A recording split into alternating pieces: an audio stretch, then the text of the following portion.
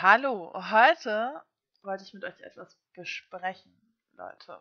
Ähm, ein sehr guter Bekannter von mir, der sich selbstständig gemacht hat, hat mir einen Buchtipp gegeben, den ich jetzt an euch weitergeben möchte. Und er hat in einem Video etwas sehr gut erklärt, was mir auch einleuchtete und was ich jetzt kurz mal darstellen und erklären möchte.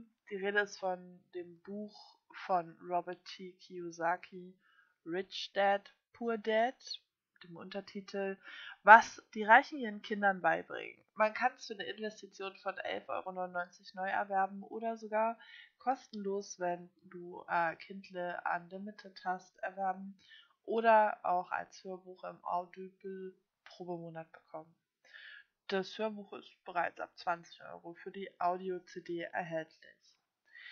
Es geht auf den rund 240 Seiten darum, warum die Reichen reich bleiben und werden und die Armen arm bleiben.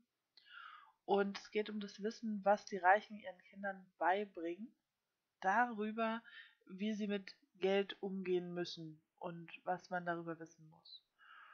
Der Unterschied ist, ganz grob, das wusste schon Karl Marx, ähm, dass die Reichen äh, Geld investieren und die Armen ihre Zeit. Also ein Arbeiter verkauft eine Stunde für einen bestimmten Lohn. Im optimalen Fall ist dieser Lohn hoch. Sowas macht übrigens auch der Selbstständige. Ähm, und ein Unternehmer oder ein ähm, Rich Dad, der Investor ist, da ist sein Verdienst nicht mehr an seinen persönlichen ähm, Reichtum gekoppelt. Ja, und es gibt zum Beispiel ähm, Verhaltensweisen und Auffassungen, die in reichen Familien vorhanden sind und Auffassungen und Meinungen und Umgang, die in ärmeren Familien vorhanden sind.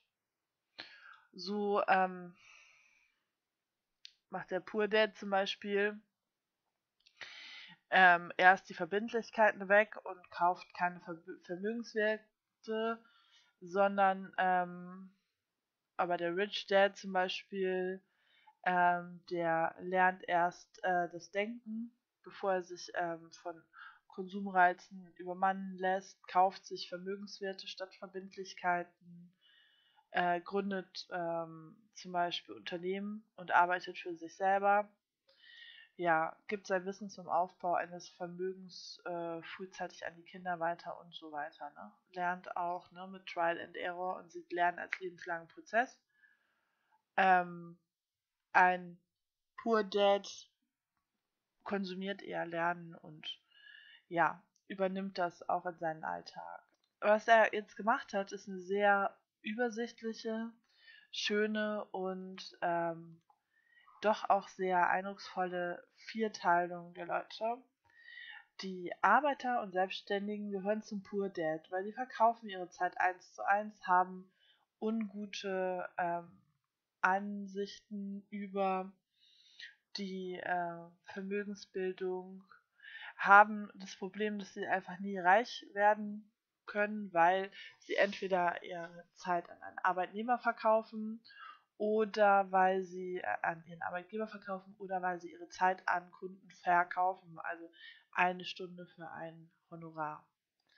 Was schon besser ist und äh, sind die Unternehmer. Die haben dann zum Beispiel Mitarbeiter, die für sie arbeiten. Das heißt, ihre, ihr Einkommen ist nicht mehr nur an ihre Stunden an sich gekoppelt. Äh, wo man aber hingehen sollte, wären die Investoren. Das heißt, die verdienen Geld, ohne eine Stunde dafür einsetzen zu müssen. Warum ist das Buch jetzt für uns so wichtig? Also sicherlich starten viele von uns als Arbeiter, indem sie eine Ausbildung machen oder andere Sachen. Dafür plädiere ich auch immer, man sollte sich erstmal etwas können, bevor man sich selbstständig macht. Ich finde es toll, wenn es so Entrepreneure und so weiter gibt. Aber meistens steht ja davor eine solide Tischlerlehre oder so. Dann macht man sich selbstständig und baut äh, Türen und Fenster für andere, ne? Dann, also wandert dann in den Quadranten Selbstständige und dann wird man Unternehmer. Und das Geld investiert man dann. Also ich hoffe, das war lehrreich. Schaut euch das Buch mal an. Das ist sehr gut.